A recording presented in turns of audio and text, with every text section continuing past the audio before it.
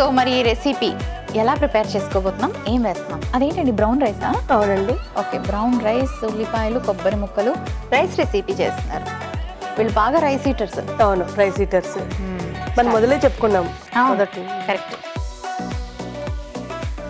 వీళ్ళు రోటీ అది తినరా? అస్సలు. అసలు అస్సలు. ఆయన సన్నగుంటారు. మ్మ్. చాలా మంది ఏమంటారు అంటే రైస్ తింటే లావ్ అయిపోతా అని కష్టపడి రోటీ తింటారు. కానీ యాక్చువల్లీ రైసా రోటీ అన్నది కాదు. మనం ఎంత క్యాలరీస్ బర్న్ చేస్తున్నాము అండ్ అలాగే ఎంత క్వాంటిటీ తింటున్నాము అన్నది. మెయిన్ ఇంపార్టెంట్ హీట్ ఎక్కిందండి ఆయిల్ పోయినా నేను చాలా మందిని చూసాను రైస్ తినేవాళ్ళు. చక్కగా స్లిమ్ గానే ఉంటారు. అవును. మీరు అన్నారని కాస్త ఆయిల్ ఎక్కువ వేసేసి. అయ్యో నాకొద్దు. ఆయిల్ హీట్ అయిందా కాస్త బటర్ వేసుకుందామండి.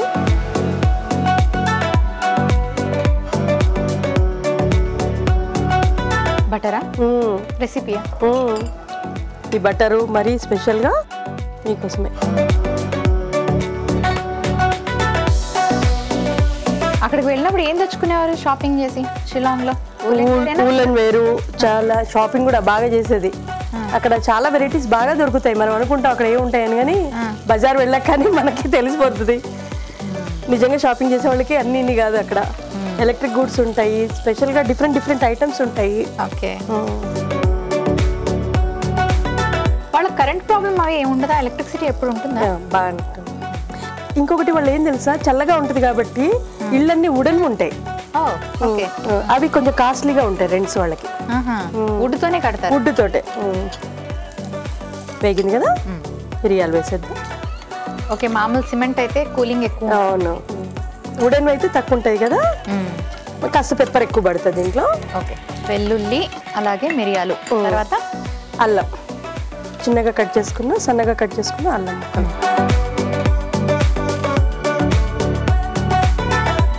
మీరు రోజు డ్రెస్లే వేసుకుంటారా శారీస్ కూడా వేసుకుంటారా? చాలా తక్కువ శారీస్ డ్రెస్. అంటే ఫాస్ట్గా రెడీ అయ్యి వెళ్ళిపోవడానికి ఇది ఈజీ. అదే. డ్రెస్సులు అన్నది అదే. అలవాటు అయిపోయింది అలా ఉల్లిపాయలు సన్నగా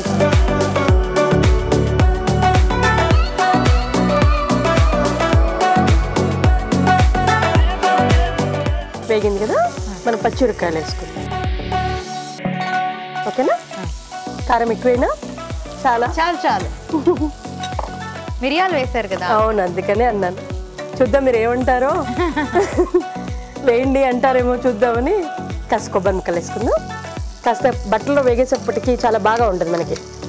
బటర్లో వేస్తే కొబ్బరి మామూలుగానే కొబ్బరి వేస్తే కొంచెం టేస్ట్ బాగుంటుంది.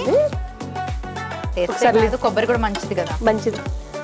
అక్కడ వాళ్ళకి ఆవు పాలతో ఆవు నెయ్యి అవే తింటారు కాబట్టి వాళ్ళకి జుట్టు చాలా నల్లగా పొడవుగా ఉంటుంది లెంతిగా ఉంటుంది. చాలా వైట్గా వాళ్ళు డిఫరెంట్గా ఉంటారు మనుషులే. ఐబ్రోస్ కాస్త తక్కువగా ఉంటాయి. నేపాలీస్ పైన బెటరు కానీ వాళ్ళకి అట్లా ఉంటుంది. ఓకే. నేపాల్ కూడా అక్కడ దగ్గరే కదా దగ్గరే. Border um, yes. కానీ పర్సన్స్ షార్ట్గా ఉంటారు స్ట్రాంగ్ ఉంటారు వాళ్ళు తినే ఫుడ్ బట్టి.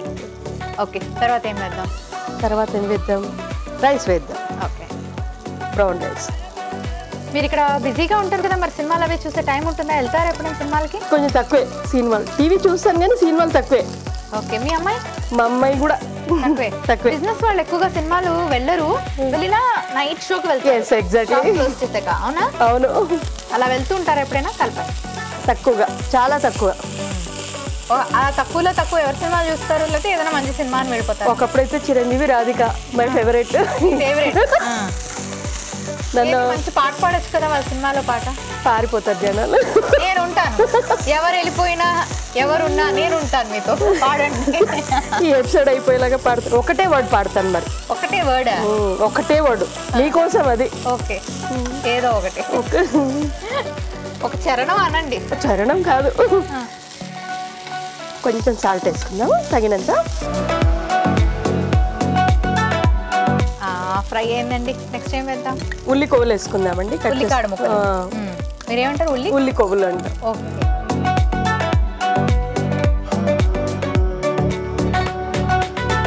సరే ఏ పాట పాడాలో ఆలోచించండి. ఇది కాస్త స్టిర్ చేసాం కదా.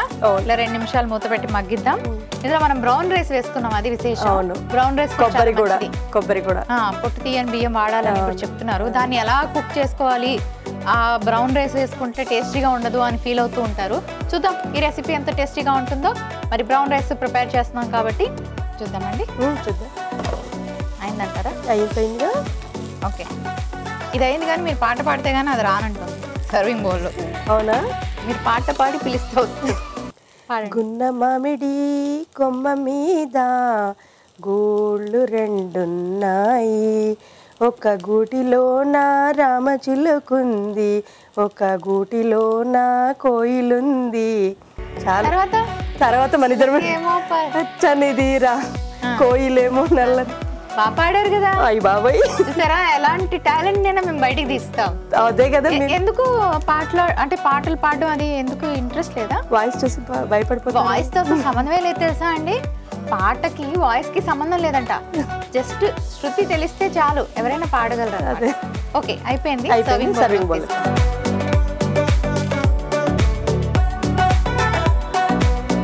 చాలా మంది ఇంట్లో అమ్మాయి ఉందంటే సంగీతం అని డాన్స్ అని నేర్పిస్తూ ఉంటారు కదా. మీరేమీ అడగలేదా మీ అమ్మాయిని? మా అమ్మాయికి ఏది ఇంట్రెస్ట్ ఉందో తనే నేర్చుకుంటుంది అనేసి వదిలేస్తాను నేను. ఓకే బెస్ట్ రుద్దలేదు ఒపీనియన్ వృద్ధను. చాలా మంది వాళ్ళకి ఉన్న మైండ్లో అన్ని వాళ్ళ పిల్లలు చేస్తారు. ఉంటారు ఆహా వాళ్ళు మా పిల్లలు ఇది అయిపోవాలి అది అయిపోవాలి అది చేసేయాలి ఇది చేసేయాలి. నేను అలా అనుకోను. మా అమ్మాయికి ఏది ఇష్టమో అలా వెళ్ళాలని దేవుడిని కూడా కోరుకుంటాను. యా ఎందుకంటే ఒక్కొక్కసారి ఇది స్ట్రెస్ ఫీల్ అవుతారు కదా. చాలా. మంది పిల్లలు. ఓకే. రెసిపీ రెడీ అయిపోయింది. దీనికి కావలసిన పదార్థాలు తయారీ విధానం మరొకసారి చూసేయండి. పెప్పర్ సన్పియోకి కావలసిన పదార్థాలు ఉడికించుకున్న బ్రౌన్ రైస్ ఒక కప్పు ఉప్పు తగినంత వెల్లుల్లి రెబ్బలు మూడు అల్లం ముక్కలు అర టీ స్పూన్ బటర్ ఒక టీ స్పూన్ మిరియాలు ఒక టీ స్పూన్ పచ్చిమిర్చి ముక్కలు ఒక టీ స్పూన్ కొత్తిమీర కొద్దిగా కొబ్బరి ముక్కలు ఒక కప్పు ఉల్లికాయ ముక్కలు ఒక కప్పు. పెప్పర్ సన్ సన్పియు తయారు చేసుకునే విధానం ముందుగా పాన్ పెట్టి నూనె వేసి అందులో బటర్ వెల్లుల్లి రెబ్బలు మిరియాలు అల్లం ముక్కలు ఉల్లిపాయ ముక్కలు వేసి వేయించుకోవాలి.